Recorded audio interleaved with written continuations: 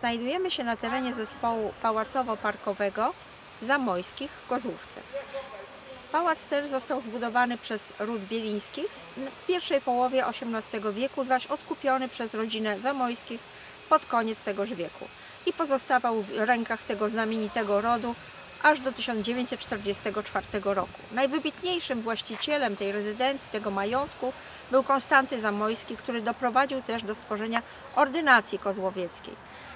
On właśnie unowocześnił ten pałac, rozbudował go i przebudował, tak by ziścić swoje marzenie o rezydencji magnackiej XVIII-wiecznej, polskiej i w takim właśnie stylu go stworzył. Pałac ten pozostaje najlepiej zachowanym pałacem w Polsce, gdzie mogą Państwo obejrzeć wnętrza, wystrój i wyposażenie autentyczne z przełomu XIX i XX wieku.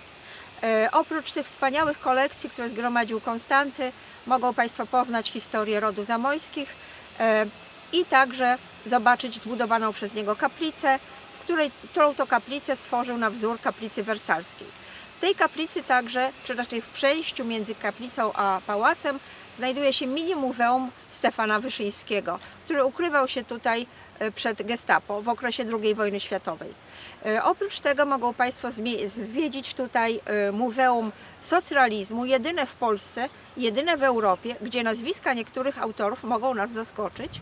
Mogą Państwo zwiedzić też wozownie, a także wystawy czasowe, które są organizowane systematycznie w dawnej teatralni.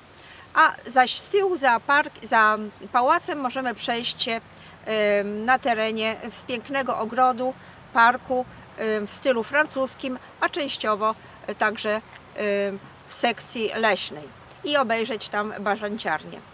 Mm, Z tyłu za Muzeum Socrealizmu spotkamy ciekawe pomniki usunięte z polskich miast po okresie PRL-u, między innymi Bieruta z Dublina i Lenina z Poronina. Pewnym miłym zaskoczeniem, może przyjemnym i ciekawym będzie toaleta pałacowa. Mówiła Beata Petkiewicz, przewodnik i pilot po Lublinie i po Lubelszczyźnie.